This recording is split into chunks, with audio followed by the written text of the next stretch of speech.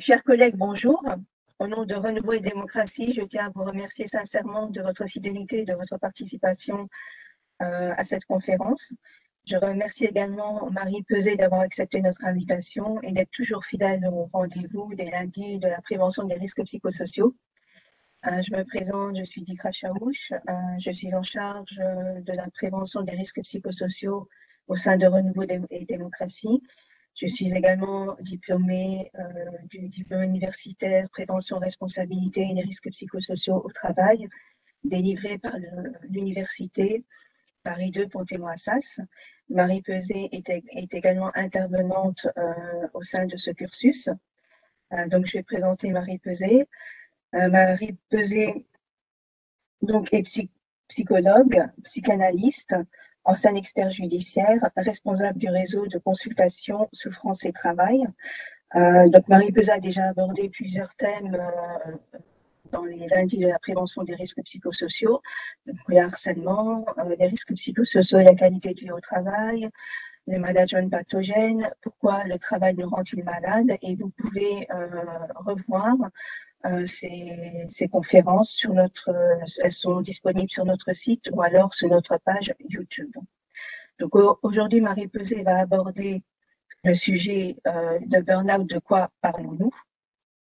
Nous entendons de plus en plus parler de burn-out, surtout en cette période de crise sanitaire. Mais qu'est-ce que le burn-out? Donc ce thème euh, devenu à la mode doit être vraiment abordé par des experts du domaine, car il touche à la santé, et seuls des médecins spécialisés, des spécialistes, sont aptes à accompagner les personnes en souffrance. Donc c'est pourquoi nous avons, fait appel à Marie Peset, euh, puisqu'à RD, nous prenons en compte euh, votre santé au sérieux et nous la confions aux, vrais experts, aux meilleurs experts. Donc je vais laisser maintenant euh, la parole à Christiane et Sébastiani qui va vous parler de notre politique syndicale et des actions que nous mettons en place. Merci beaucoup et bonne conférence. Oui, merci Dikra. Je ne vais pas prendre le temps de, Marie. Ce que nous essayons de faire, c'est de donner une signification scientifique en faisant appel aux meilleurs experts à des mots qui sont souvent utilisés un peu en vrac, qu'il s'agisse de l'harcèlement, qu'il s'agisse du burn-out, euh, qui cachent euh, une série de difficultés et surtout qui donne souvent à l'administration la Libye que tout ce qui n'est pas harcèlement est considéré comme acceptable, tout ce qui n'est pas burn-out au sens propre et scientifique du terme devient une sorte de faiblesse avouée par les collègues concernés. Euh, et surtout, nous avons souvent affaire au sein de notre administration avec des collègues parfois de bonne volonté, mais qui n'ont pas les compétences nécessaires parce qu'ils s'improvisent gestionnaire de dossiers d'une difficulté évidente et, souvent ils ne prennent même pas la peine de, s'inspirer des meilleures pratiques et des meilleures expériences au niveau européen. Nous sommes souvent considérés une technocratie qui dispose des meilleurs juristes, des meilleurs économistes, des meilleurs auditeurs, alors que dès qu'il est question de gérer les ressources humaines, on est plutôt dans l'artisanal, ce que nous regrettons profondément. Et nous essayons de, de nous aider, d'aider notre institution en faisant appel aux meilleurs experts en essayant de donner un contenu scientifique à des mots euh, que chacun de nous utilise souvent en, liberté. Aujourd'hui, c'est le tour du, du burn-out, donc je laisse la parole à Marie pour qu'elle nous explique exactement de quoi il est question, quels sont les éléments à prendre en compte et qu'est-ce que nous pouvons faire pour les collègues qui sont en difficulté. Merci Marie. Eh bien, merci à Renouveau et Démocratie de m'inviter à nouveau. Je prends pension chez vous. Hein d'une certaine manière. Euh, le sujet d'aujourd'hui, il est important parce qu'il est évident qu'à force de parler du burn-out partout, ben, on ne sait plus où il se trouve. Il est important aussi de comprendre que finalement, ce burn-out, c'est un syndrome de désadaptation de l'être humain à des organisations du travail qui sont devenues redoutablement pathogènes, essentiellement à cause de l'accélération frénétique due au numérique, à l'intensification du travail, et que tout ceci a sur la neurophysiologie humaine des conséquences vraiment, vraiment, vous allez le voir, catastrophiques. Le drame, c'est que de la même manière que dans les années 95, tous les patients arrivaient dans les consultations en disant je suis harcelés. Maintenant, ils arrivent en disant je suis en burn-out. Et donc, il y a une sorte de phase de récupération médiatico-sociale qui écrase la possibilité de faire un diagnostic nuancé. On va le voir. Il y a d'autres tableaux cliniques que le burn-out tout aussi grave hein, qui sont méconnus euh, et euh, malheureusement au profit, comme d'habitude, des syndromes anglo-saxons, burn-out, bore-out, brown-out, euh, qui ne veulent rien dire, surtout quand on a affaire, comme en France, à la sécurité sociale avec ses diagnostics, mais chez vous, c'est sûrement pareil. Et donc, on, voit bien qu'il faut essayer de faire un petit chemin historique pour voir quand est apparu ce fichu mot de burn-out et puis d'essayer de nuancer et de décanter la situation.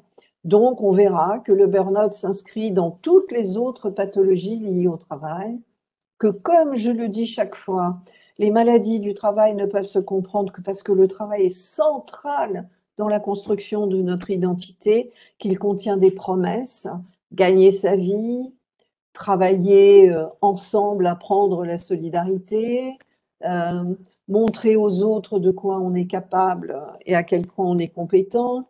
Et on voit bien aussi que le travail, c'est la manière de reprendre la construction de l'identité dans l'enfance et d'y trouver une issue euh, sociale euh, positive. Je répète souvent le même exemple, le, petit garçon de 4 ans qui aime bien arracher les pattes des mouches, c'est pas une mauvaise idée s'il devient chirurgien à l'âge adulte et qu'il utilise son sadisme transcendé dans la capacité avec un bistouri de, de sauver la vie de, de quelqu'un et là, on voit à quel point le travail est un pacificateur individuel, mais un pacificateur social aussi euh, exemplaire. Euh, chez vous comme chez nous, euh, les zones, les régions, les banlieues où se déploient deux ou trois générations de gens qui, dans des familles, n'ont pas eu de, travail, on voit à quel point les, les, violences peuvent être puissantes quand on ne peut pas trouver sa place dans la société. Alors, euh, pour que vous ayez quand même une vision, même si elle est rapide, de toute façon, vous aurez ce diaporama et d'autres documents. Sachez qu'en clinique du travail, on divise les pathologies en deux familles. Les pathologies de surcharge, qui vont vous paraître logiques quand on parle bien sûr du burn-out, mais aussi des TMS, des accidents cardiaques, la surcharge du corps, la surcharge de l'intelligence et les pathologies de la solitude qu'on a beaucoup évoquées récemment à propos du harcèlement moral et des suicides au travail. Car lorsqu'on est soutenu par un collectif de collègues, on n'est plus harcelé, on est maltraité, mais pas harcelé, on n'est pas seul, et donc on n'a pas vraiment de raison de se tuer. Du côté euh, de ce qu'on appelle dans mon jargon les décompensations psychiques, euh, par surcharge, vous aurez le, stress bien avant le burn-out. Il faudrait qu'on soit tous attentifs au stress excessif, aux premiers troubles de mémoire qu'on commence à avoir, des troubles de logique, de concentration, quand on n'imprime plus, quand on est obligé de relire le dossier qu'on corrige plusieurs fois, quand on oublie son numéro de carte bleue, son code d'accès au site. Euh, il y a aussi de plus en plus du côté euh, des surcharges ce qu'on appelle techniquement l'état de stress aigu, mais qui, de manière plus populaire, est en fait les pétages de plomb. Les gens qui éclatent en sanglots, euh, qui font des malaises, qui s'évanouissent dans le couloir, qui renversent leur ordinateur ou qui tapent avec un coup de poing contre le mur tellement, tellement l'organisation du travail les pousse au bord de leurs limites. Et puis, il y a bien évidemment les effondrements dépressifs. Du côté de l'isolement, qui n'est pas le sujet d'aujourd'hui, vous avez donc l'état de stress post-traumatique, qui est le tableau des gens harcelés, et puis les suicides, qui sont vraiment des pathologies de la désolation. Euh, vous avez aussi, bien sûr, les décompensations comportementales, euh, la violence contre l'usager qui lui-même est violent et, et, vous êtes tout seul au guichet et c'est vous aussi qui devez aller dans l'arrière-boutique pour réparer. Comment voulez-vous qu'il n'y ait pas de violence? Violence entre les collègues, quand vous attendez que le collègue d'à côté ait terminé pour faire euh, votre propre travail, quand tout est ralenti, quand tout le monde est énervé, violence contre l'outil de travail, contre l'encadrement, mais aussi un encadrement qui lui-même, poussé à bout, peut devenir extrêmement harcelant et euh, s'imposer à lui-même des cadences difficiles, mais les imposer aussi aux équipes euh, de manière extrêmement euh, pathogène. Et puis du côté du corps, il y a bien sûr les, les TMS, les troubles musculo-squelettiques, qui, vous le savez, sont loin d'être l'apanage uniquement des travailleurs manuels. Maintenant, on sait et la pandémie n'a rien arrangé que rester des heures sur un clavier euh, connecté à toute heure du jour et de la nuit, cette sédentarité et puis cette manière de convoquer le corps uniquement dans des axes euh, articulaires qui sont toujours identiques est une catastrophe sur le plan du squelette, des ligaments et des muscles. Et puis, vous avez bien sûr la charge cardiovasculaire que une telle organisation du travail euh, frénétique peut procurer. On a vu pendant la pandémie l'année dernière, pendant les quatre mois de confinement en France, les euh, infarctus du myocarde grimper à 45% chez les femmes qui étaient à la maison avec le travail domestique, l'école à faire aux enfants et le travail ensuite quand tout le monde était couché euh, parce qu'elle n'était pas au chômage technique. Alors, que dire du burn-out si on fait un petit historique? D'abord qu'il a certainement toujours existé, en tout cas la fatigue, dans des formes extrêmes, qu'il a revêtu au fil des époques des,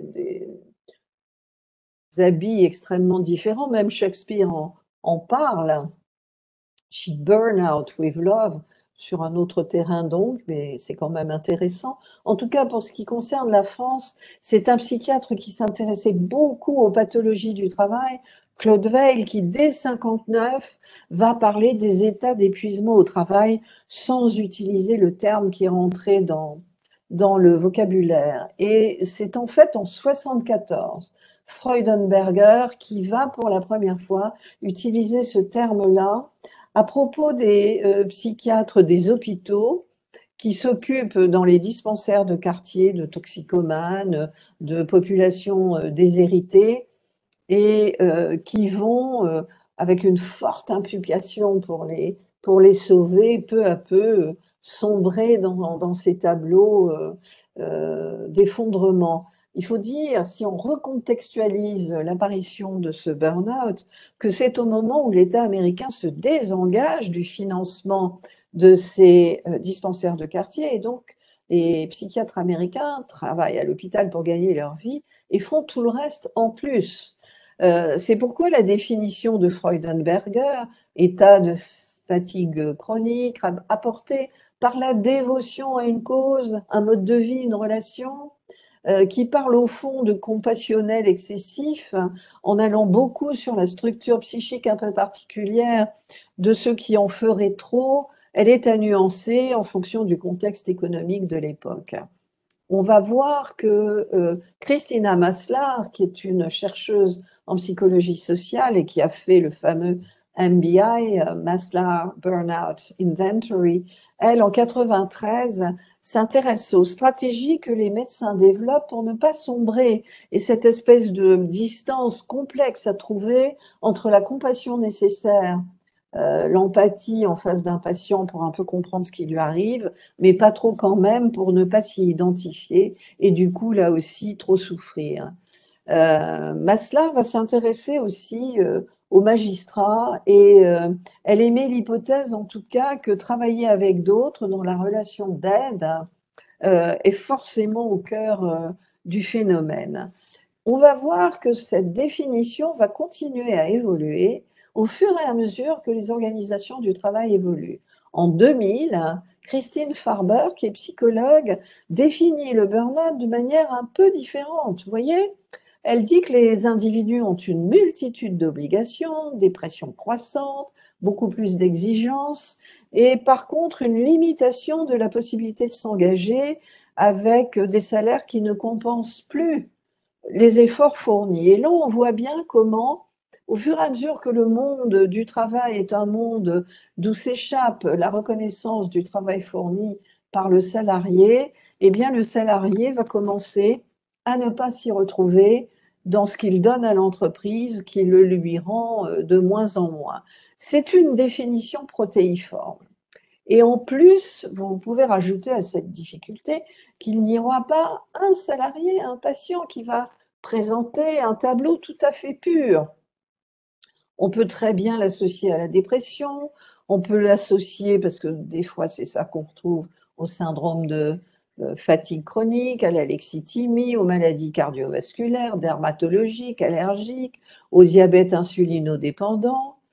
Pendant longtemps, il a été effectivement un syndrome de soignant, mais on voit bien que de nos jours, il envahit nos consultations. Ce n'est plus ce qu'on appelle un syndrome de métier, c'est en fait un syndrome qui survient dans un contexte économique et organisationnel spécifique, en tout cas pour ce qui concerne le salarié français, qui est troisième en productivité horaire au rang mondial et premier en consommation de psychotropes.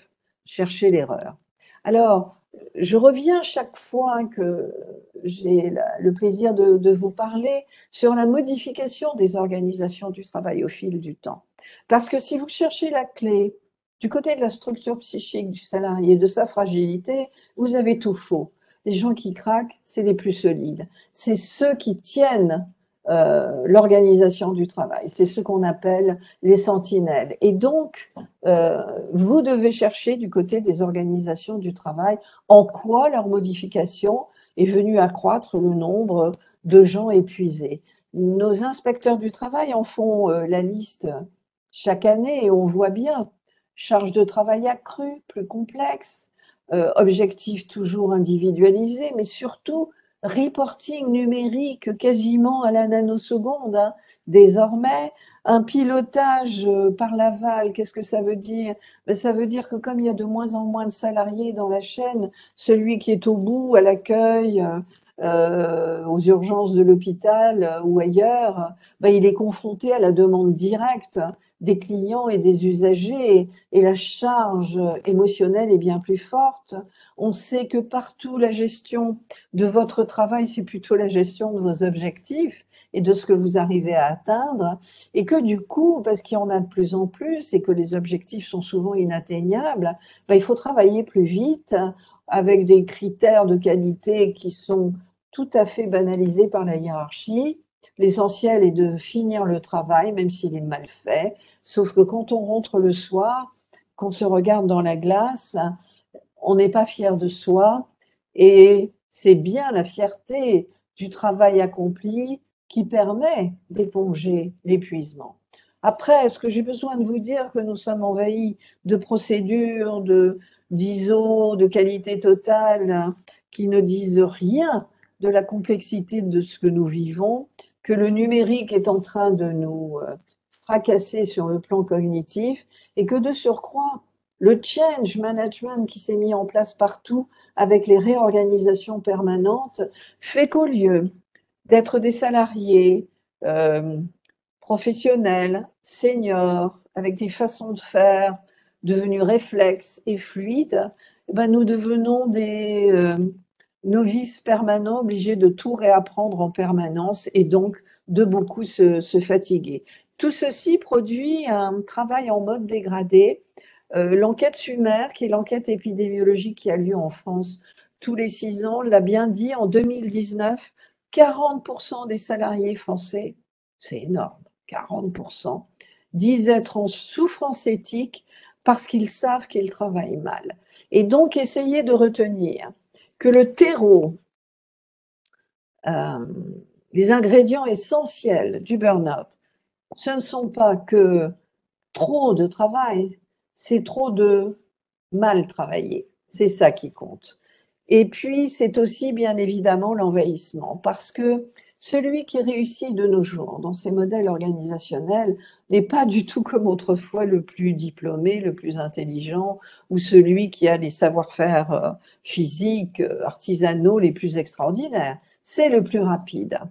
Car ce que veulent les organisations du travail moderne, avec une procéduralisation des tâches extrêmement aiguë, avec du numérique qui génère des contraintes corporelles, sensorielles, cognitives sans précédent, eh bien tout ça aboutit à un envahissement. Vous y rajoutez le discours de la nouvelle langue managériale qui exige de vous que vous soyez toujours au top, performant en permanence. Eh bien, comment douter que le moindre sentiment de fatigue soit perçu alors par celui qui travaille comme un signe d'insuffisance personnelle? Dans ce monde où nous devons tous être euh, des athlètes de la quantité, comment accepter tout d'un coup euh, de ne plus se sentir en phase En phase avec quoi?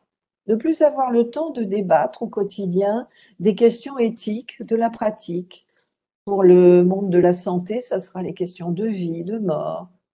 Pour d'autres domaines, la responsabilité de ce qu'on fabrique, mettre après tout sur le marché, par exemple, des voitures dont on sait, quoi que dise le lean management, zéro défaut, que des millions d'entre elles retourneront en usine pour des défauts. Qu'est-ce que la vérité dans le monde où il faut sans cesse mentir sur les délais euh, de ce qu'on va remettre aux clients Si, si, je vous promets, vous l'aurez la semaine prochaine.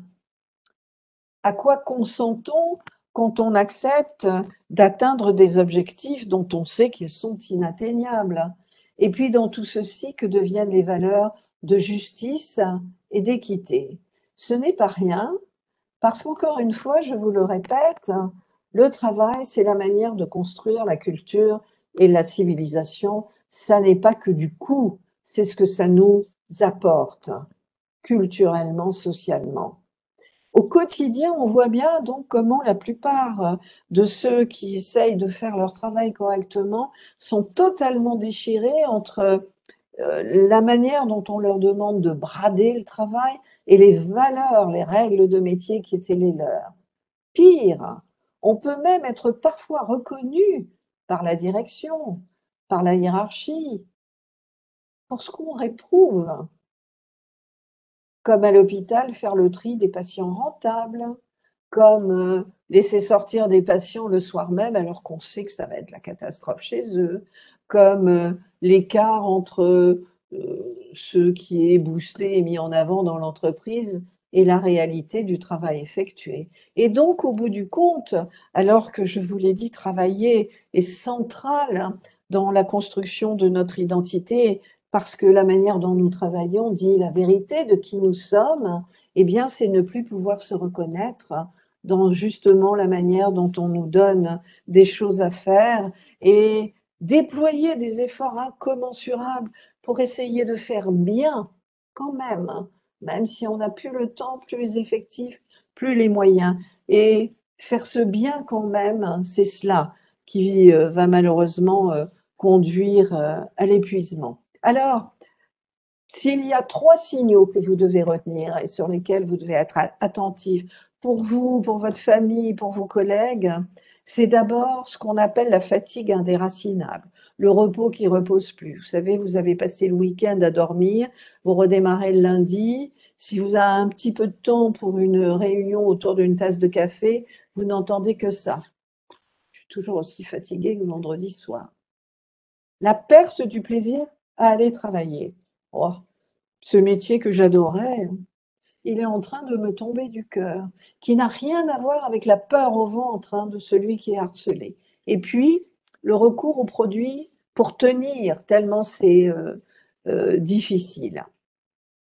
Donc, vous le voyez, le burn-out, ça n'est pas une fatigue ordinaire qu'on va dépasser. Euh, la même quantité d'énergie dépensée dans une autre activité choisie ne produira pas l'effet dévastateur de l'activité contrainte professionnelle.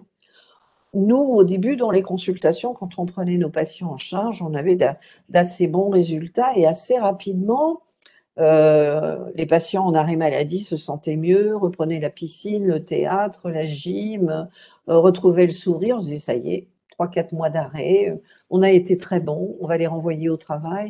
Et eh bien là, en une matinée, ou quelquefois sur la tâche qui déclenchait chez eux un conflit éthique, c'était un nouvel effondrement.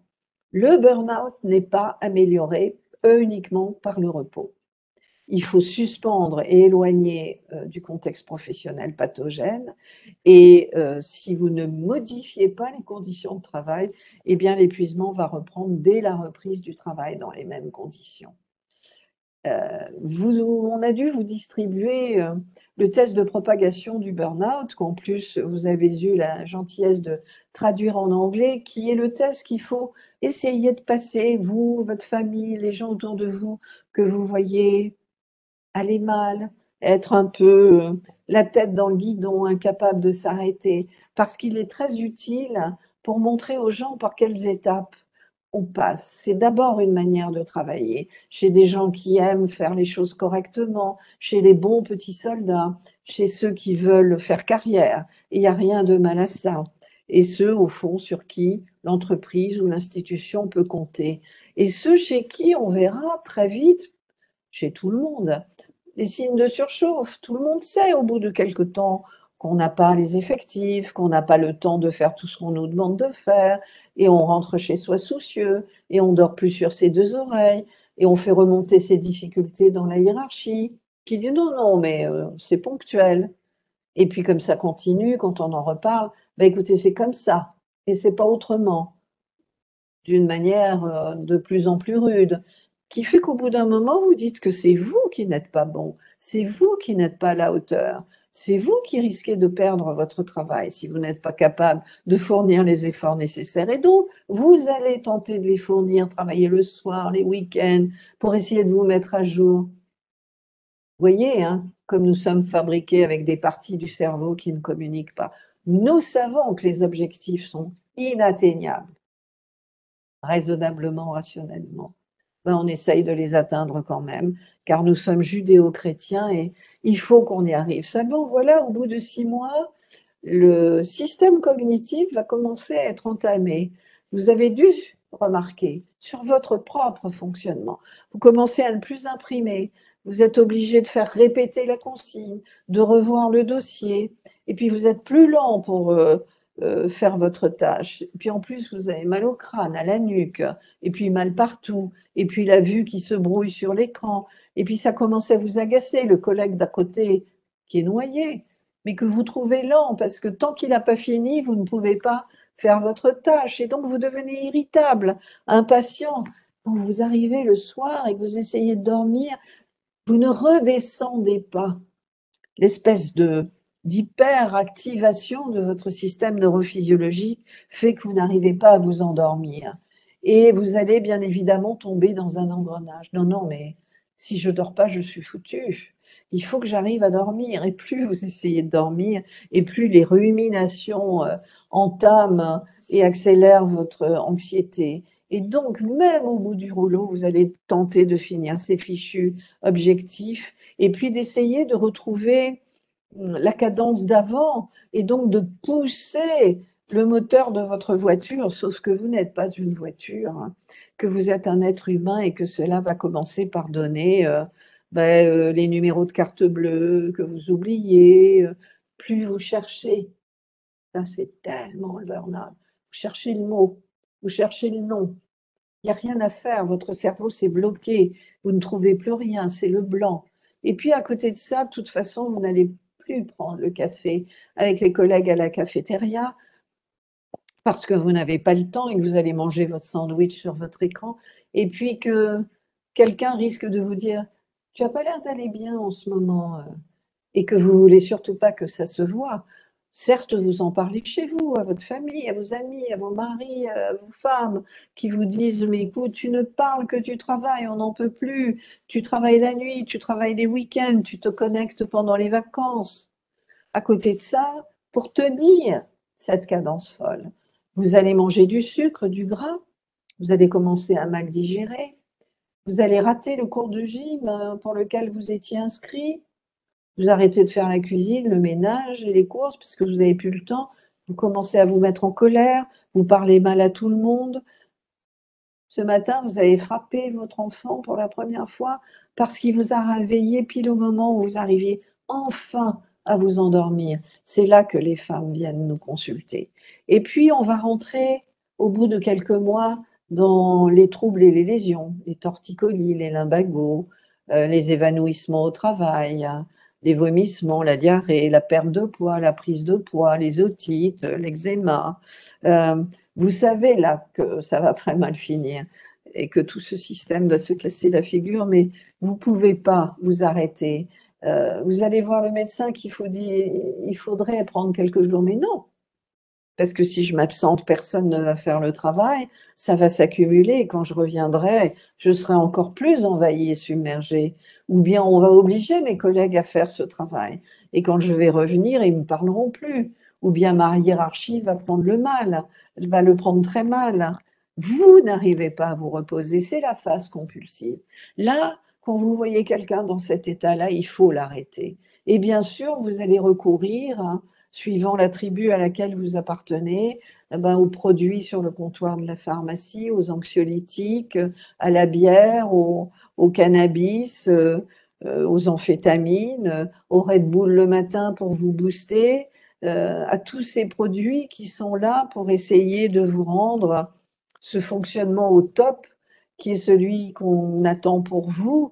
En même temps, vous le savez, tout ça va très très mal finir et effectivement, il se peut qu'un matin, vous n'arriviez pas à poser le pied par terre, ou bien que sur le trajet vers le travail, la panique vous serre la gorge et que votre cœur batte à tout rompre. Ça arrive aussi que sur le quai du métro, vous vous disiez, mon Dieu, mais si je me jette sous la rame qui arrive là, je ne serais pas obligé d'y aller, ou bien que vous éclatiez en sanglots devant l'équipe, ou bien que vous vous évanouissiez dans le couloir, ou bien euh, euh, votre N plus 1 vous parle et vous ne voyez que la fenêtre ouverte derrière lui parce que vous n'avez qu'une envie, c'est vous défenestrer. Essayez de passer ce test pour savoir où vous en êtes. Et bien sûr, si vous en êtes à la troisième page, venez nous voir dans nos consultations. Alors, un burn-out, qu'est-ce qu'on fait? Il faut d'abord le distinguer des autres décompensations psychiatriques. Et donc, on va voir un psychiatre pas parce qu'on est fou, mais parce qu'on présente une psychopathologie liée au travail et que seul un psychiatre peut faire la différence entre ça et des pathologies plus classiques. Et puis parce que vous l'avez compris, il faut éviter le risque suicidaire euh, qui serait quand même une tragédie. Il faut bien sûr toujours aller voir son médecin du travail pour l'alerter sur l'état dans lequel on est, alors que la plupart du temps, celui qui est en burn-out veut tout cacher à tout le monde, aux collègues, à la hiérarchie, euh, à son médecin traitant et au médecin du travail, ce qu'il fait qu'il ne donne pas aux médecins de prévention, aux médecins du travail, les outils pour comprendre ce qui se passe. Alors que, bien évidemment, euh, euh, ce qui serait important, c'est que ah, je ne sais pas, j'ai fait un truc qu'il fallait peut-être pas faire, c'est pas grave. Il faut aussi bien évidemment aller vers les consultations spécialisées. Il y en a en Belgique, il y en a en Suisse, il y en a en France, il y en a 60 sur la région parisienne. Alors, euh, probablement vous ne dépendez pas de ça, mais nous en France, on a bien évidemment la caisse accident du travail et maladie professionnelle. Et sur ces questions-là, on a fait euh, beaucoup de beaucoup de progrès. Voilà, j'ai touché un truc auquel il ne fallait pas toucher. Au Luxembourg, euh, vous allez sur le site Souffrance et Travail et vous regardez dans, dans la liste. Alors, très embêtant, j'ai cliqué sur un truc sur lequel il ne fallait pas cliquer et du coup, je ne peux plus avancer mon diaporama. Voilà. Le, travail réel, c'est ça. Alors, comment faire? Voilà, peut-être comme ça. Voilà. Alors, pourquoi est-ce que faire un diagnostic de burn-out n'est pas simple? D'abord, parce que tous les cliniciens ne sont pas formés. Ce sont des tableaux cliniques très liés au travail. Il y a les médecins qui voient des burn-out partout. Il y a les psychiatres qui ne veulent surtout pas voir de burn-out. Il y a des employeurs qui ne veulent pas en entendre parler. Chez nous, il y a la caisse de sécurité sociale qui peut effectivement reconnaître des maladies professionnelles, mais qui est très mal à l'aise avec ce syndrome. Euh, comme tableau psychique lié au travail, en France, la sécurité sociale veut bien reconnaître la dépression, espèce de grande valise hein, où on peut mettre beaucoup de choses. L'anxiété généralisée, là aussi, pareil. Et puis l'état de stress post-traumatique, euh, parce que tout de même au travail, il y a les hold-up dans les banques avec le retentissement sur les caissiers, et puis il y a le tableau clinique princesse du harcèlement. Euh, le burn-out, en 2019, il n'y en a eu que 1500 de reconnus sur la masse des patients que nous voyons. Vous imaginez que c'est vraiment peanuts. Et donc, vous voyez à quel point les instances administratives, médico-administratives sont frileuses, mais on verra pourquoi. Après, vous avez aussi beaucoup d'échelles euh, quantitatives qui sont supposées euh, euh, être utilisées pour faire un diagnostic. Très franchement, comme elles ne vont que sur la question du travail et qu'elles ne permettent pas de voir ce qui se passe dans la vie privée quand on est épuisé, je les trouve un peu limitées. Et donc, vous comprenez bien que c'est avec sa formation, son positionnement théorique, que le médecin que vous allez voir euh, va vous prendre en charge, euh, va vous soigner et va réagir. Alors, en France, on dispose depuis 2011, grâce à l'intelligence des médecins conseils de la sécurité sociale, d'un outil qui est en fait un diagnostic administratif.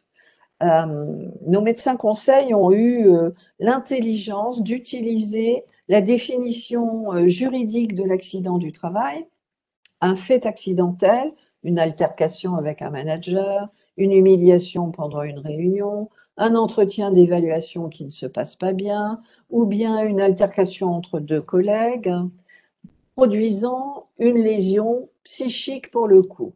Et donc, en France, si vous allez consulter votre médecin après une crise de nerfs sur le lieu de votre travail, une crise de larmes, une crise de tétanie, une altercation avec un supérieur hiérarchique ou un collègue, bref, un événement ponctuel et, brutal, alors vous rentrez dans le cadre de la définition de l'accident du travail et même votre burn-out sera reconnu comme accident du travail. Je n'en veux pour preuve que en 2019 toujours, alors que je vous disais que la sécurité sociale n'avait reconnu que euh, entre 1400 et 1700 burn-out, elle a reconnu 20 000 états de stress aigu en accident du travail.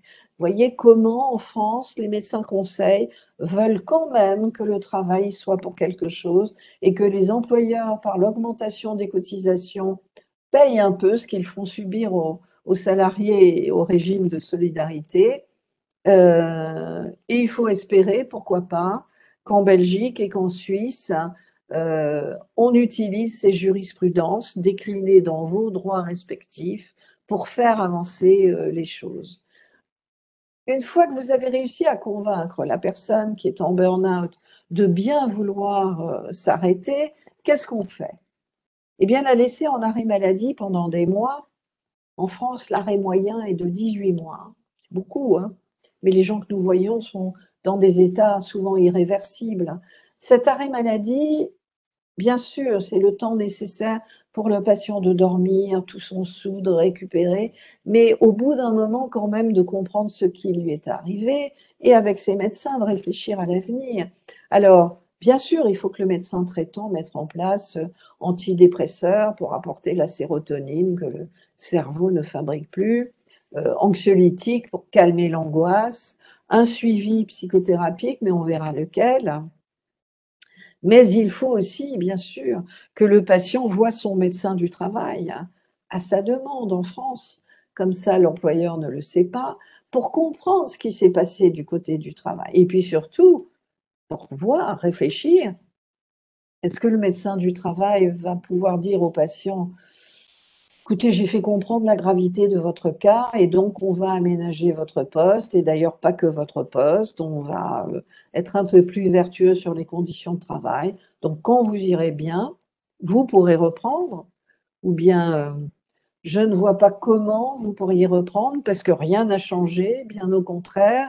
Et d'ailleurs, dans votre service, des collègues sont en train de tomber comme des mouches. Et donc, vous voyez bien comment cette pathologie fait partie de ce qu'on appelle la psychopathologie des violences collectives euh, systémiques et non pas euh, une pathologie liée à une défaillance structurelle. Si au bout d'un temps d'arrêt maladie, si avec le traitement, si avec la discussion sur le travail, vous pouvez envisager sereinement le retour à votre poste et que la direction a procédé de bonne foi aux modifications nécessaires, la parenthèse sombre va se refermer. Mais si vous avez perdu toute confiance dans votre environnement, si vous voulez muter sur un autre poste, en tout cas en France, dans le Code du travail, le médecin peut préconiser cette mutation. Ces deux cas de figure, bien sûr, ne sont envisageables que si l'entreprise ou l'administration a pris conscience de sa responsabilité vis-à-vis de la santé des salariés. Si vous pensez que vous ne pouvez pas y retourner, qu'il n'y a qu'une manière de vous guérir en partie, c'est de couper euh, le lien réel et symbolique, là, bien évidemment, le rôle de l'avocat va être majeur. Et c'est pourquoi, dans les consultations souffrance et travail, nous le mettons en place dès le début. Parce que trouver un avocat des mois plus tard qui va enfin s'occuper rapidement de votre dossier, c'est impossible. Donc il faut que votre dossier soit ouvert chez l'avocat qui est là aussi pour vous donner des conseils juridiques, notamment quand il est spécialisé en, droit de la sécurité sociale. Alors, venons-en à la psychothérapie. Là encore, les psychologues que vous allez consulter ont leur formation.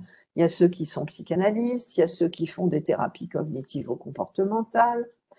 Moi, euh, je crois que le, psychologue, l'essentiel, c'est qu'il utilise ce qu'il maîtrise, ce pourquoi il a été formé et les théories dans lesquelles il a confiance. Mais, mais, la différence avec nos cliniciens, c'est que nous nous attachons à prendre un temps extrêmement prolongé avec le salarié en burn-out pour réfléchir à ce qui lui est arrivé à la chronologie de tous les postes qu'il a occupés, à sa carrière, à comment étaient ses rythmes de travail, comment était son investissement au travail, comment ça se passait avec ses collègues, quelles tâches exactes il effectuait, à quelle cadence, à quelle intensité, quelle était au fond la forme de l'organisation du travail dans laquelle il était.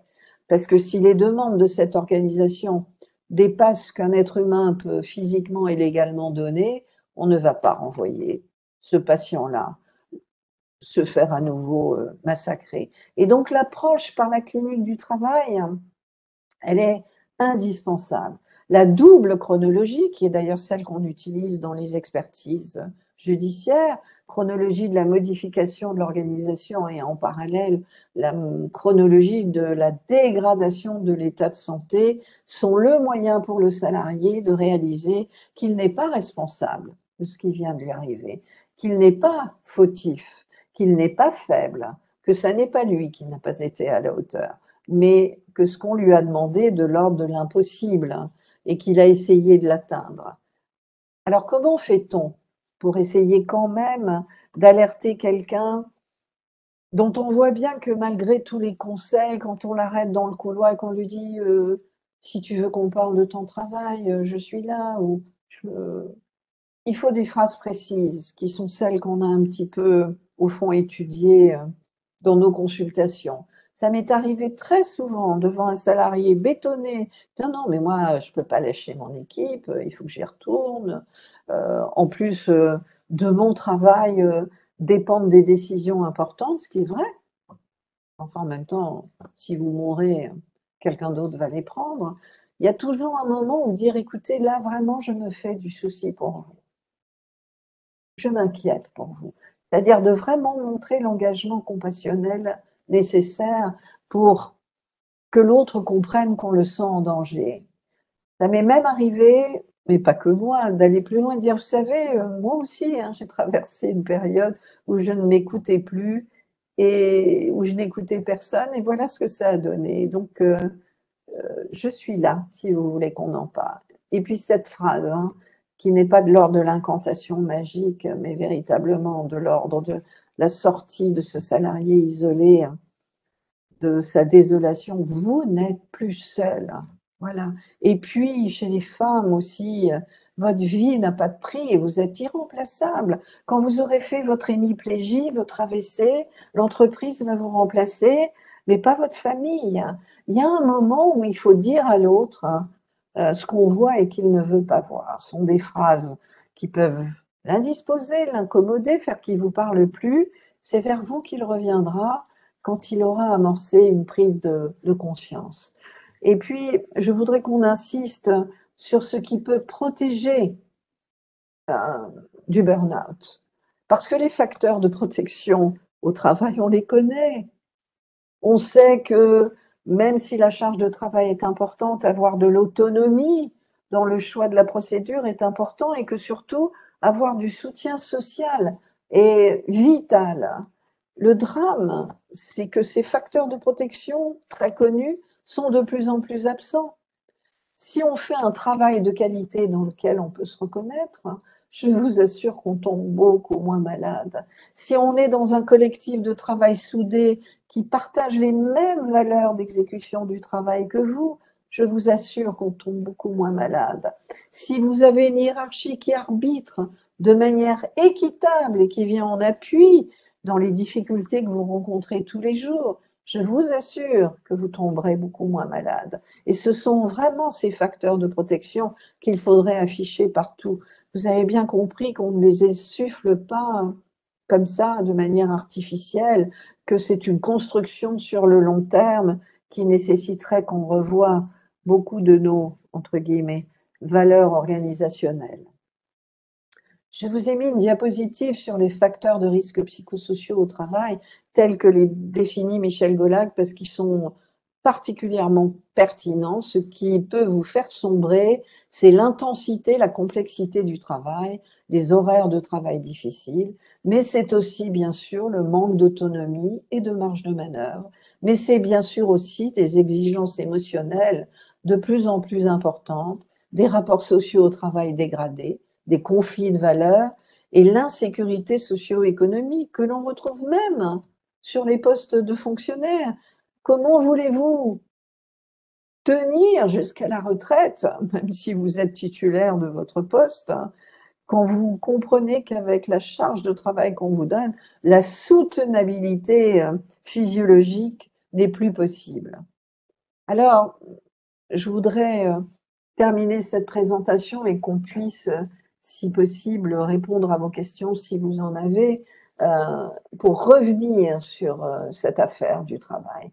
Travailler, c'est pas simplement produire des boulons, des pièces. Euh, encore une fois, hein, vous avez choisi un métier quand les modalités d'exercice de votre poste de travail vous permettent de réfléchir avec intelligence, vous permettent un peu de bouger de temps en temps, vous permettent de montrer votre utilité, alors le travail préservera votre santé. Hein. C'est vraiment, vraiment important que vous le, le, le compreniez. Euh, pour beaucoup, encore cet adage se vérifie. Euh, en contrepartie de ce que nous apportons, nous attendons une rétribution, pas que le salaire, la reconnaissance de la qualité du travail accompli. C'est ça qu'on attend tous. Et c'est ça qui fait que vous pouvez rentrer très fatigué le soir, les chevilles gonflées, endolories, mais vous vous couchez en disant, mon Dieu, ça a tourné grâce à moi aujourd'hui. Cette fatigue a eu du sens. Je peux la rapatrier dans euh, une estime de moi-même, du bon professionnel que je suis en train de, de devenir. Alors les doutes, les difficultés et la fatigue s'évanouissent parce que vous avez été utile au monde et que vous avez euh, effectivement contribué à l'œuvre collective. Et on a vu l'année dernière, au moment de la pandémie, revenir sur le devant de la scène tous ces métiers exercés par des gens devenus invisibles dans notre société, les caissières de supermarchés, les éboueurs qui ramassaient les poubelles et nos soignants, bien sûr, qui nous empêchaient de, de mourir. Alors, je voudrais euh, vous rappeler qu'il faut réhabiliter la fatigue comme mécanisme protecteur toute notre société ne fait que nous tenir un, discours où il faudrait euh, lutter contre la fatigue en permanence, alors que la fatigue est le message que notre corps et notre organisme nous envoient pour dire Oh, stop, on ralentit. La dépense d'énergie que nous faisons tous les jours n'a qu'un but, conserver l'équilibre de la vie, sans toucher à notre capital santé le travail de l'homme obéit aux mêmes lois que les lois de la thermodynamique. Et donc va s'ajouter à la dépense d'énergie nécessaire au maintien des fonctions vitales. Quand vous respirez, c'est un travail. Quand vous mangez, c'est un travail. Quand vous digérez, c'est un travail. Tout ce que fait le corps humain pour se maintenir en vie, les battements du cœur, la digestion, c'est du travail. Si vous rajoutez ce travail de la sauvegarde de la vie, un excès de, de travail dans tous les autres domaines, il faut vous attendre à ce que le message fatigue apparaisse. Parce que qu'est-ce qu'elle vient vous dire, cette fatigue?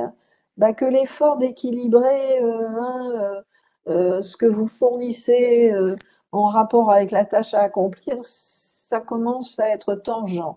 Et si vous n'enchaînez pas avec une période de récupération, après la dépense d'énergie, eh bien, vous, allez puiser dans les briques de la maison et pas simplement dans les réserves des placards. Et là vont apparaître des lésions irréversibles. J'ai envie de vous dire aussi, mais c'est un peu la même chose que pour le harcèlement, que ce qui remonte dans nos consultations encore et toujours, et je ne m'y fais pas, c'est la peur. Et que le symptôme qu'il faut traiter et qui éviterait qu'il y ait autant de burn-out, parce que les gens oseraient dire non et puis viendraient nous voir plus tôt, ben, c'est cette peur. Peur de parler de ce qui ne va pas dans le travail et de s'entendre répondre, vous ne savez pas vous débrouiller, vous ne savez pas hiérarchiser vos tâches. Peur de passer pour un salarié incompétent, insuffisant, fragile, faible, manquant de dynamisme. Peur que ça ait des conséquences sur l'entretien d'évaluation, l'avancement, les primes, le bonus et le poste. Peur de s'entendre répondre que c'est comme ça, ce qui renvoie à une impuissance et un désespoir.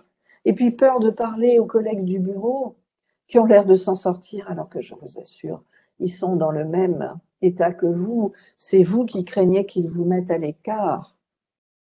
Alors, vous appuyez sur le droit, il est temps peut-être que la Commission européenne s'applique à elle-même ce qu'elle a exigé comme application en droit euh, national de tous les États européens, d'adapter le travail à l'homme. C'est quand même une loi magnifique, cette obligation de sécurité de résultat. Donc, il serait temps euh, de l'envisager euh, pour vous. Je ne reviens pas sur les critères de la faute inexcusable qui, en France, ont permis toutes les magnifiques jurisprudences sur lesquelles nous avons pu communiquer, y compris d'ailleurs la dernière sur le suicide de Nicolas Schoffel à la Poste, c'est qu'en France, un chef d'entreprise doit avoir conscience des dangers auxquels il euh, affronte ses salariés, une connaissance au summum des connaissances scientifiques du moment. Et puis surtout en France, ce qui nous sauve de ce discours, mais il était fragile, mais il avait des antécédents, mais sa maman vient de mourir, mais il vient de divorcer, c'est que la faute liée au travail n'a pas à être complètement déterminante sur la pathologie présentée, suffit qu'elle soit nécessaire. Et ça change tout. Voilà, que vous conseillez d'autre que de devenir un salarié averti, connaître les maladies du travail, connaître ses droits, connaître les acteurs de prévention et vous l'avez compris, ne pas rester seul. Je ne saurais trop vous répéter, répéter encore cette phrase. Vous n'êtes pas seul, on est euh, à vos côtés. Voilà, je vous propose de passer du temps à répondre euh, à vos questions, euh, si vous en avez, bien sûr.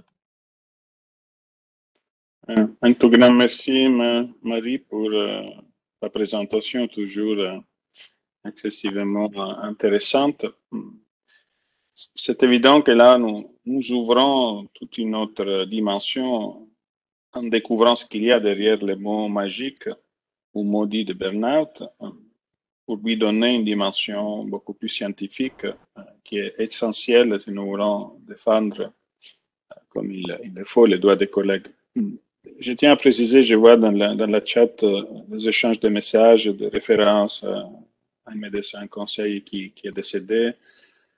Je dirais que là, nous sommes dans le cadre d'une discussion dans laquelle, certes, l'expérience personnelle peut être utile pour poser des questions à Maria, mais euh, il y a quand même des dimensions les plus intimes et personnelles qui doivent être adressées dans, dans un contexte autre qu'une conférence de ce type, qui d'ailleurs est enregistrée, qui va apparaître euh, sur notre site, qui sera consulté par des centaines et des centaines de collègues, toutes institutions confondues. Nous n'allons pas publier la chat, c'est évident.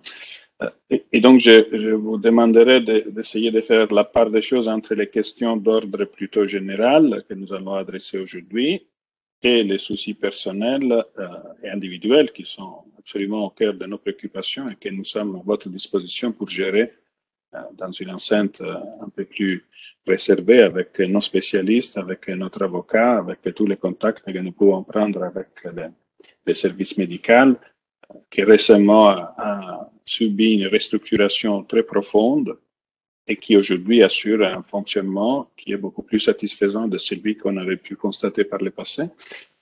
Donc, il est évident que nous ne nous limitons pas à organiser des conférences. Nous, mettons en œuvre ces connaissances ces expériences ces rappels à l'ordre de notre institution qui, qui donne des leçons aux États membres sans s'appliquer elles-mêmes les règles qu'elles prêchent. Euh, nous les utilisons pour faire améliorer le fonctionnement de notre institution vis-à-vis de notre administration, avec euh, dernièrement un esprit d'écoute euh, un peu plus éveillé de ce qu'on a pu constater par, par le passé, parce que naturellement, les, refrains, vous êtes trop bien payé, de quoi vous vous plaignez, vous n'êtes pas à la hauteur, il y a des, milliers, des dizaines de milliers de candidats qui voudraient être à votre place, vous devriez être content. Cette approche euh, que je, je, qualifie de bootcamp Navy Seals, l'idée qu'il faut résister à tout, euh, même au pire des traitements, comme si c'était dans une sorte de sélection darwinienne. euh, mal placée.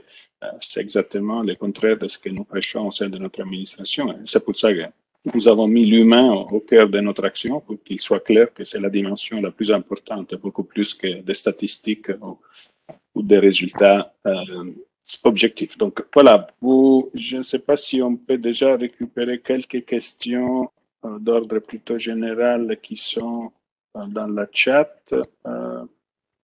Euh, il y a ce sentiment de ne pas être entendu euh, par l'administration. Peut-être, Marie, oui, c'est vrai, il y a une question qui est souvent euh, placée, la différence entre les psychologues, les psychothérapeutes, les psychiatres il y a une sorte de prévention pour euh, avoir euh, recours à un psychiatre, parce que comme tu l'as dit si bien, ça donne presque l'élément déclencheur qu'on est fou. Euh, et on a tendance. Oui, si, tu peux bien expliquer quel est le choix. Voilà. Alors, en, fait, toutes ces disciplines travaillent ensemble, mais sont quand même différentes. Le psychologue clinicien s'intéresse à la personnalité de quelqu'un et aux symptômes qui peuvent apparaître. Le, le psychologue du travail va s'intéresser à la santé au travail et en quoi les organisations du travail peuvent rendre malade. Le psychiatre est formé pour identifier les grandes pathologies euh, psychiatriques. Euh, et donc, il est formé pour ne pas comprendre grand-chose de ce qui se passe dans le monde du travail. Mais fort heureusement, les psychiatres évoluent de toute façon, actuellement, en 2021, tous les psychologues cliniciens, tous les psychologues du travail, tous les médecins généralistes, tous les psychiatres reçoivent des gens qui souffrent au travail et donc sont bien obligés de se renseigner, de se former et d'essayer d'affronter tout ça. Moi, je dirais qu'ils font un peu tous ces protagonistes. Le psychiatre, c'est celui qui va prendre la relève éventuellement du médecin traitant pour faire des arrêts maladie prolongés c'est celui qui va trouver la médicamentation la plus adaptée pour véritablement soigner correctement. Donc on ne peut pas s'en passer. Il faut être sûr qu'il ait une sensibilité euh, et des connaissances sur ce qui se passe dans le monde du travail. Euh, le psychanalyste, il faut en choisir un qui est aussi cette expérience-là, car je parle toujours des mêmes exemples un peu caricaturaux, mais encore une fois, hein, le, le salarié qui est en burn-out, si c'est pour aller lui dire mais quel masochisme vous avez pour avoir tenu aussi longtemps, euh, ça va pas l'aider, ça va renforcer son idée qu'il est fragile ou que c'est sa névrose singulière qui l'a poussé à tout travailler et pas du tout les objectifs qu'on lui demande. Euh, je dirais que souvent, on va voir un psychologue plus facilement qu'on ne va voir un psychiatre. Et en France, en tout cas, encore plus facilement un psychologue du travail qu'un psychologue clinicien. Et que ça peut souvent commencer comme ça. On va voir un psychologue du travail qui, s'il trouve que vous n'allez pas bien, vous adressera au clinicien, qui, s'il trouve qu'il faut passer à quelque chose de plus, vous adressera au, au psychiatre. Alors, burn-out, dépression, comment savoir où l'on se trouve? Il y a un diagnostic euh, différentiel, comme on dit dans mon jargon, relativement simple. Ça ressemble beaucoup hein, au début. Vous êtes couché, vous pleurez, vous avez des angoisses, vous êtes épuisé, vous ne pouvez plus rien faire, vous êtes au bout du rouleau. Si au bout de quelques mois, quelques semaines d'arrêt maladie, avec les prises en charge adéquates, ce qu'on appelle euh, l'anédonie, l'absence de plaisir, finit par se lever, que vous recommencez à avoir le plaisir d'aller marcher, puis même d'aller courir, puis d'aller trois fois par semaine à la piscine, puis de reprendre vos cours de chant, et puis finalement de retrouver votre gaieté, c'est que ce n'était pas une dépression, mais un burn-out. Si vous continuez dans tous les secteurs de votre vie, travail et vie privée, à être euh, sans élan vital, sans plaisir d'aucune sorte, là, on est sur une dépression. Mais alors attention, parce qu'un burn-out qu'on n'a pas pris en charge à temps finira en dépression grave. L'être humain n'étant pas du tout fabriqué euh, pour tenir des rythmes de folie euh, trop longtemps. Hein. Donc c'est vraiment important que vous compreniez que la différence, elle tient à ça. C'est que l'élan vital, le plaisir de vivre, il revient quand on vous sort de ces organisations du travail qui entamaient euh, votre identité. Euh, c'est vraiment très important. Et puis souvenez-vous de ces trois symptômes simples. Hein. Euh, votre sommeil, votre repos qui ne vous repose plus. C'est comme ça que ça commence. Et puis, plus tellement envie d'aller travailler alors que ça vous passionnait. Et puis, tiens, je vais peut-être prendre une cure de vitamines. Euh, je vais peut-être prendre du Red Bull tous les matins parce que ça m'aide bien. Puis quand même, je, vais passer à autre chose qu'aux tisanes le soir pour arriver à dormir parce que j'ai du mal à redescendre. Voilà, euh, d'être obligé de se doper légalement ou illégalement euh, pour arriver à tenir.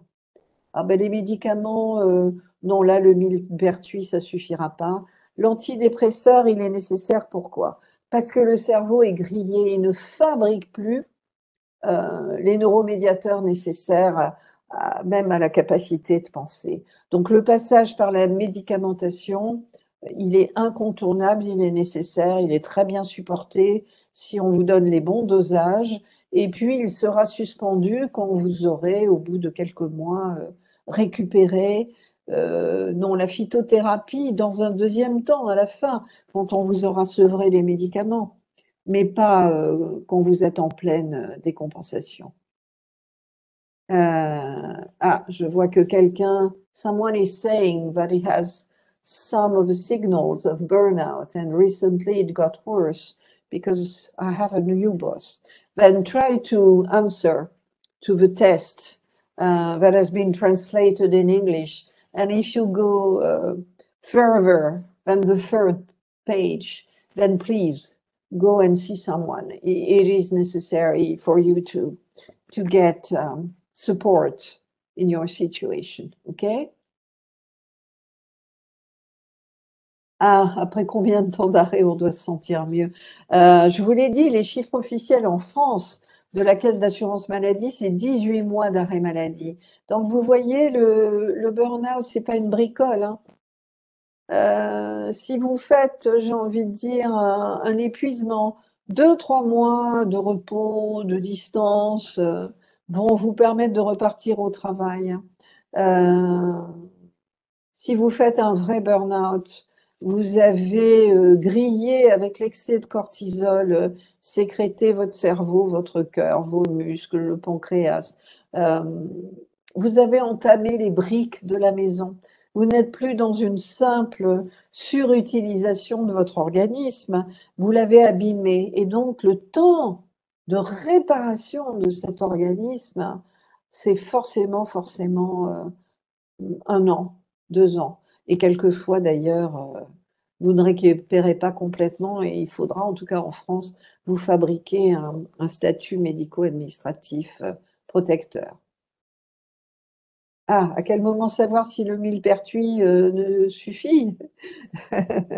Euh, Je crois que ce n'est pas qu'une question de molécules chimiques, c'est une question d'être capable d'avoir du recul sur la situation et donc de vous passer le test de propagation du burn-out régulièrement. Et encore une fois, si vous dépassez la troisième page, d'arrêter avec le millepertuis contre lequel je, n'ai rien, hein, mais qui suffira pas. Vous l'avez compris, même les antidépresseurs euh, ne suffiront pas. Vous perdez votre travail au bout d'un an chez vous, mais c'est pareil chez nous. Euh, beaucoup d'employeurs licencient les gens qui sont absents trop longtemps pendant leur arrêt maladie. Euh, charge à nous, les soignants, d'être euh, intelligent, je vous l'ai dit, euh, dans l'analyse du poste de travail, dans l'analyse de la philosophie de l'entreprise ou de l'administration, d'anticiper tout ceci avec l'avocat et puis de construire les dossiers de demande d'invalidité ou de, reconnaissance en accident du travail, parce que je vous l'ai dit, vous pouvez être en burn-out, mais faire sur le lieu du travail une crise de nerfs, euh, après que, par exemple, euh, un supérieur hiérarchique vous ait vraiment très mal parlé, euh, eh bien ça, ce sera déclaré en, accident du travail. Donc, c'est important que vous arriviez à travailler tout ceci. L'hygiène de vie particulière quand on est dans cet état, oui, bien sûr, le corps, le corps, le corps d'abord. Et vous verrez que dans toutes les prises en charge, il y a toujours chez nous un séjour de trois semaines au terme de Saujon, dans le sud de la France, qui se sont spécialisés dans la prise en charge du burn-out. Il y a toujours une période de ce qu'on appelle l'understressing, c'est-à-dire la remise en route de l'endurance qui a complètement disparu. Est-ce que vous savez, non, vous ne savez pas, dans le burn-out, la repolarisation euh, des neurones, les cellules du cerveau, la repolarisation, vous savez qu'elles ont un fonctionnement électrique, est perturbée. Donc vous voyez qu'on est bien à, des niveaux extrêmement physiologiques, plus physiologiques que psychologiques. Ah, un statut administratif protecteur. Alors, en France, vous ne pouvez pas être arrêté plus de trois ans. Ça n'a pas de sens d'ailleurs de vous arrêter trois ans. Au bout d'un an, un an et demi, nous, nous voyons très bien si notre patient va récupérer ou s'il a des atteintes définitives et notamment nous faisons passer ces bilans neuropsychologiques qui sont une photographie de l'état de votre intelligence. Et si la mémoire de travail, puisque nous avons six mémoires, dont la mémoire du travail, si elle est atteinte, ça veut dire que c'est le travail qui est en cause. Et donc, on peut être reconnu en maladie professionnelle, du coup protégé.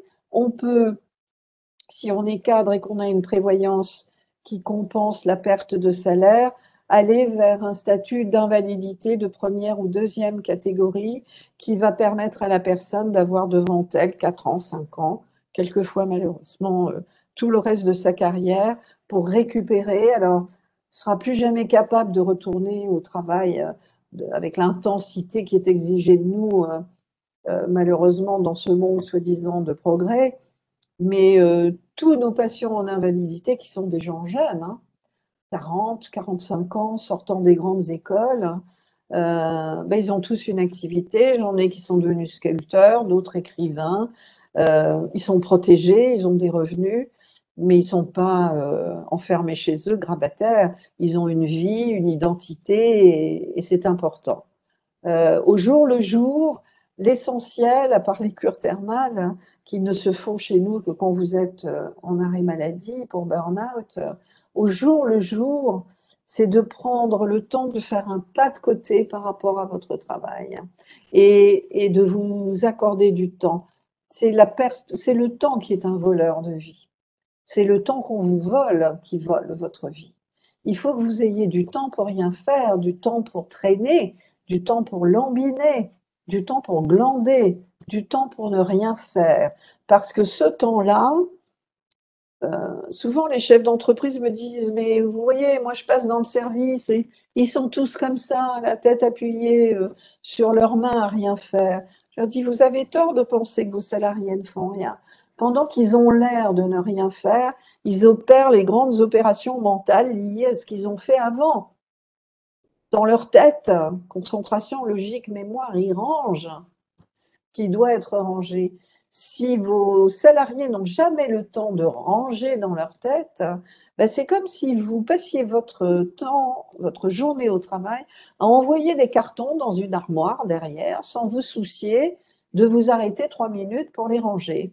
À un moment donné, l'armoire, elle va être pleine et les cartons vont vous tomber dessus et vous écraser. C'est comme ça que ça fonctionne, le corps humain. Le corps humain a besoin de temps, de répit, pour que les hormones du stress redescendent dans le sang, pour que la pensée inconsciente, pas au sens freudien, mais au sens réflexe, se mette en œuvre et qu'on puisse réfléchir, même si on n'en a pas euh, l'impression, à qu'est-ce qu'on va faire par rapport à tel ou tel problème. Je vois passer une question sur le burn-out professionnel et familial. Alors, on parle beaucoup de burn-out parental. La classification euh, internationale des maladies, ce qu'on appelle la CIM, dans sa version 11, a refusé euh, d'intégrer le burn-out parental à la définition du burn-out professionnel. Euh, pour pas tout mélanger, parce que là encore, on est en train de mettre le mot burn-out à toutes les sauces et, que c'est effectivement euh, extrêmement euh, embêtant de, tout mélanger. Donc il faudra qu'on trouve un autre terme pour parler de la surcharge de vie que représente d'avoir à gérer le travail et, la vie euh, professionnelle. Je vois aussi passer des conseils sur la méditation, le tai chi, le yoga, c'est-à-dire la référence à toutes ces techniques de développement personnel qui sont intéressantes mais qui ne peuvent absolument pas se substituer à la prévention primaire qui est entre les mains du chef d'entreprise ou du directeur. C'est dans la sphère du travail que doit se faire la prévention du burn-out et on ne peut pas demander aux salariés, en plus, de prendre en charge, en allant euh, à toutes ces activités, euh, la manière de faire avec une organisation du travail devenue euh, frénétique. Y a-t-il un lien entre les acouphènes et le burn-out Ben oui, bien sûr. Euh, c'est dans la liste dans le test. Toute pression supplémentaire sur votre organisme va mettre toutes les sphères euh, fonctionnelles en surcharge. Donc, ça va de la vue qui va baisser, à l'oreille interne qui va siffler, aux muscles qui vont faire mal, au cœur qui va passer en tachycardie, au pancréas qui va sécréter trop de sucre. Euh, je ne peux pas passer tous vos organes en revue, hein, à votre estomac qui va vomir, euh, à vos intestins, enfin voilà. C'est la diverticulite peut aussi, bien sûr, s'aggraver euh, sous l'effet du, stress. Le stress est un, mangeur de santé, il faut y faire très très attention. Prenez le temps de vivre. Quand vous aurez perdu votre santé, l'organisation du travail va vous oublier. Et vous, vous allez devoir passer le reste de votre vie avec les séquelles de votre euh, excès de générosité euh, vis-à-vis de l'entreprise. Faites très attention à ça. Une fois que la santé est perdue, c'est compliqué. Hein. Il faut consacrer tellement de temps, tellement d'énergie, tellement d'argent si on n'a pas un système de sécurité sociale correct hein, pour arriver à, peu près équilibrer son état. Et ça arrive à des gens de plus en plus jeunes et c'est vraiment désolant à voir. Hum, Marie, il y a une question qui, revient très souvent dans, les dossiers que nous traitons, qui est la réintégration dans les services à mi-temps. Parce que nous avons une règle relativement claire, que nous sommes en train d'ailleurs d'essayer de, faire évoluer, qui plafonne la possibilité d'un militant médical à six mois maximum. La, question était si, si c'était six mois sur toute la carrière ou si c'était six mois par pathologie. Nous sommes arrivés à faire un peu passer les bons sens et qu'on ne peut pas mélanger n'importe quelle pathologie et tout cumuler en six mois. Donc, c'est six mois par pathologie. Mais, on est souvent confronté à des discussions particulièrement tendues entre les collègues qui veulent revenir à mi-temps et les médecins qui, qui, lui conseillent parfois de continuer à être absent à 100% avant de, réintégrer. Les collègues qui disent maintenant, je pense que ça me fait du bien de rentrer au moins à, euh, à mi-temps médical. Qu'est-ce qu'il faut te conseiller là? Alors vraiment, si c'est un burn-out, je vous l'ai dit à plusieurs reprises hein, depuis une heure, il suffit de reprendre une matinée et d'être remis le nez sur la tâche qui vous avait fait craquer pour recraquer à nouveau. Donc non, il n'y a pas de reprise à temps partiel thérapeutique pour euh, quelqu'un qui est en burn-out parce qu'il faut d'abord qu'il ait compris ce qu'il avait fait craquer dans le travail. Et certes, il y a la quantité de travail, mais pas que. Il y a aussi le conflit éthique, les mauvaises relations avec la hiérarchie ou avec les collègues. Et tant que tout ça n'est pas réparé, ben, si vous le renvoyez au travail, les mêmes causes vont produire les mêmes effets. Ça n'est pas comme une dépression personnelle pour des raisons euh, de vie euh, qui font que vous êtes en arrêt. Puis là, c'est bien de vous laisser reprendre parce que le lieu de travail est un lieu de socialisation, d'utilité, et que donc vous remettre en charge petit à petit va vous aider à sortir de cette dépression personnelle. Non, dans le burn-out, c'est le travail qui vous a rendu malade. Donc imaginez que sans rien avoir changé au poste, aux tâches, aux relations, au management, on va remettre la personne à petite dose et qu'elle va s'en sortir, c'est une erreur. J'ai même envie de vous dire, parce que c'est le constat qu'on fait, c'est que la rechute est définitive. La rechute est beaucoup plus grave le corps décide de vous envoyer des symptômes qui sont des scuds, puisque vous n'avez pas l'air d'avoir compris que c'était le travail qui vous avait rendu malade. Et donc là, la rechute, elle risque d'être d'une telle gravité que vous ne pourrez plus jamais reprendre votre poste. Donc non, c'est là où vous avez besoin d'avoir des spécialistes dans la boucle qui donnent leur avis sur cette reprise à, temps partiel thérapeutique. Moi, je la pratique beaucoup pour les cadres qui, vous le savez, veulent jamais abandonner leurs euh, équipes. Ils sont euh, toujours euh, tellement soucieux hein, de ne pas déroger. Donc je les vois arriver épuisés et souvent je leur dis, écoutez, là vous venez de faire une crise de nerfs sur le lieu du travail, on va vous déclarer en accident du travail. Non, je ne peux pas, je peux pas laisser mes équipes. Non, non, mais on va déclarer l'accident du travail sans arrêt maladie. On a le droit. On ouvre le dossier d'accident du travail et vous retournez travailler mais je vous revois dans trois jours. Et puis encore trois jours après, puis la semaine d'après. je peux vous dire qu'à la troisième consultation, ils ont compris et là, ils acceptent. Ils acceptent l'arrêt définitif. Donc, vous voyez, il y a beaucoup d'outils, en tout cas en France, on a cette chance d'avoir une richesse d'outils médico-administratifs, encore une fois, hein, grâce à nos médecins conseils qu'il faut remercier, et que quand on sait bien jouer avec euh, tous ces outils, on a des nuances de prise en charge extrêmement euh, précieuses. C'est du cas par cas, il faut faire de la dentelle avec chaque patient. Il n'y a pas de, prescription uniforme, c'est pas comme ça que ça va marcher. Et donc, mi-temps thérapeutique, là aussi, c'est au cas par cas. Il faut analyser ce qui s'est passé du côté du travail. Une autre discussion que nous avons souvent avec les collègues, c'est que même les services médicaux, nous soutenons la demande de mobilité et souvent les collègues nous disent non, parce que sinon c'est le constat d'un échec. Je ne pouvais plus. Mais non. Alors là, c'est que le collègue, il n'a pas été pris en charge correctement. Je vois passer une demande. En Belgique, vous avez des consultations souffrance et travail avec des cliniciens qui ont fait le, le certificat que j'ai dirigé. Donc, euh, allez voir sur le site Souffrance et Travail, vous trouverez leurs adresses et eux-mêmes connaissent en Belgique d'autres adresses. Non, non, si on a bien fait le, travail, il n'y a pas d'échec. Le burn-out, c'est la victoire de la vie sur la mort. C'est la victoire du corps sur la folie du système. Le corps, je vous l'ai souvent dit, il y a quatre ans, l'Académie Nobel a donné le prix Nobel de chimie aux trois chercheurs sur les rythmes circadiens. Les rythmes circadiens, c'est les rythmes par lesquels on fonctionne au jour le jour. L'Académie Nobel essaye toujours d'envoyer un, message à, l'humanité. Donc faire un burn-out, c'est faire partie de, euh, ce top euh, morceau de l'iceberg qui dit cette civilisation ne va pas. Il y a un truc qui cloche.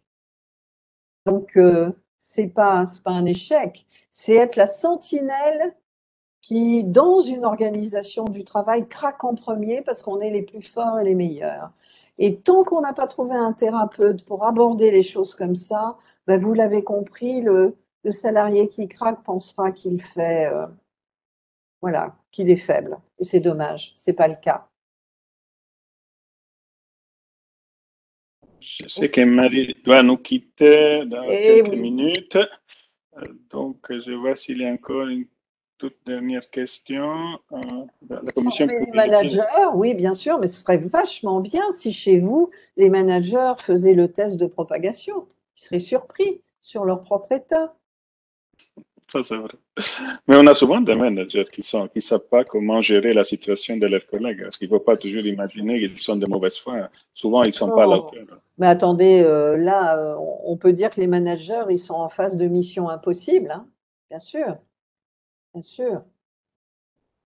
Le test, vous- on va, on va vous l'envoyer. Il est en français et en anglais. hein.